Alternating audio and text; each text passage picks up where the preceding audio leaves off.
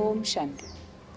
പറയുന്നുണ്ട് ഇപ്പോൾ കലിയുഗമാണ്. ഇപ്പോൾ ലോകത്തിലെ സമയം എന്ന് പറഞ്ഞാൽ കലിയുഗമാണ്. കലിയുഗം എന്ന് പറഞ്ഞാൽ തന്നെ നമുക്കറിയാം. നമുക്ക് ചുറ്റും വളരെയധികം പ്രതികൂല സാഹചര്യങ്ങളാണ് നടന്നുകൊണ്ടിരിക്കുന്നത്. നെഗറ്റീവ് എനർജി വളരെയധികം ഉണ്ട് അപ്പോൾ നമ്മൾ പ്രതീക്ഷിക്കുന്നത് പോലെയുള്ള കാര്യങ്ങളൊന്നുമല്ല നടക്കുന്നത്. അപ്പോൾ ഇങ്ങനെ ഒരു സാഹചര്യത്തിൽ ഇങ്ങനെ ഒരു ലോകത്തിന്റെ അവസ്ഥയിൽ നമുക്ക് വിജയകരമായിട്ട് മുന്നോട്ട് പോകണമെങ്കിൽ സക്സസ്ഫുൾ ലൈഫ് ലീഡ് ചെയ്യണമെങ്കിൽ അല്ലെങ്കിൽ ആർട്ട് ഓഫ് ലിവിങ് എന്ന് പറഞ്ഞിട്ടുണ്ടെങ്കിൽ അതിന് നമുക്ക് എട്ട് ശക്തികൾ നമ്മുടെ ജീവിതത്തിൽ ധാരണ ചെയ്യേണ്ടതായിട്ടുണ്ട്.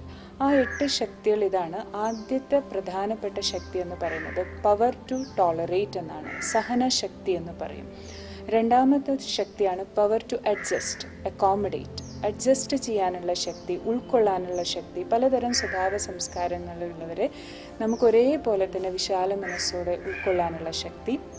അതേപോലെ പവർ ടു റിയലൈസ് റിയാലിറ്റി സത്യം എന്താണ് അതിനെ തിരിച്ചറിയാനുള്ള ശക്തി അതാണ് തിരിച്ചറിയാനുള്ള ശക്തി പറയും.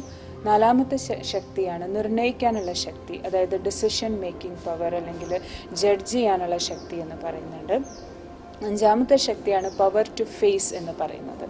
വിപരീത സാഹചര്യങ്ങൾ നമ്മുടെ ജീവിതത്തിൽ പ്രതീക്ഷിക്കാതെ വരുമ്പോൾ ധൈര്യത്തോടു കൂടി അതിനെ നേരിടാനുള്ള ശക്തിയാണ് പവർ ടു ഫേസ് എന്ന് പറയുന്നത്.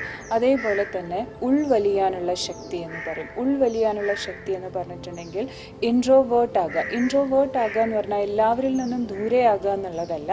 എന്ത് എന്താണോ എന്തിൽ നിന്നാണോ നമുക്ക് ഉൾവലിയേണ്ടത് എന്ത് നെഗറ്റീവ് ഇൻഫ്ലുവൻസസിൽ നിന്നാണ് നമുക്ക് ഉൾവലിയേണ്ടത് ആ സമയത്ത് കറക്റ്റായിട്ട് അതിൽ നിന്നും ആ നെഗറ്റീവ് ഇൻഫ്ലുവൻസസ് ഇൻഫ്ലുവൻസിൽ പെടാതെ നമുക്ക് നമ്മളെ ഉള്ളിലേക്ക് ഒതുക്കാനുള്ള ഒരു ശക്തിയാണ്.